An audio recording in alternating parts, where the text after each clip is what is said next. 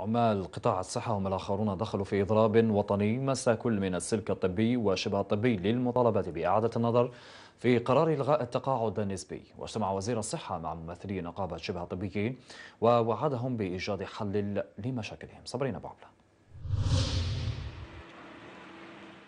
اجتمع موظفو قطاع الصحة صبيحة اليوم في إضراب وطني مس مختلف المؤسسات الصحية وعينتنا كانت من مستشفى مصطفى باشا الذي شهد تجمعا للأطباء والشبه الطبيين مع ضمان الحد الأدنى من الخدمات الصحية.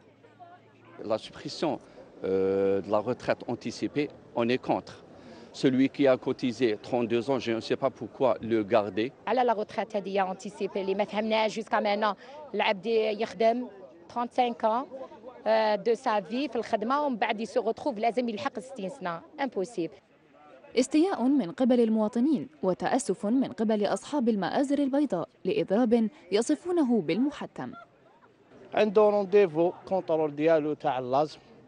جينا طبيبة ما كاشها قال لك حين نقرفوا دوك نزيدوا شوية نغلقوه وهي ديجا جات على 10 اسيرينا مواطن في السيرفيس مينيموم يسمى مواطن؟ ماشي ماشي مريض يجي للمستشفى ما يلقاش le service minimum. حنا ما نخلوش هذا الشيء هذايا on est désolé on demande pardon aux malades. توعد وزير الصحة خلال اجتماعه مع النقابة الوطنية للشبه الطبيين بإدراج مهنهم ضمن قائمة الأعمال الشاقة.